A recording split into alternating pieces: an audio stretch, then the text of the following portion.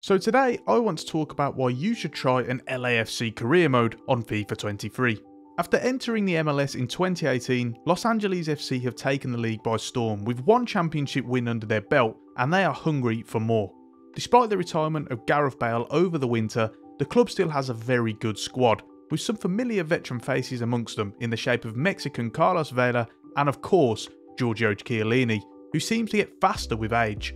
With some exciting youngsters like Opoku, Palacios, Biuk and Cifuentes sprinkled in, as well as a budget of $39 million, you have a setup that could lead to success for many years.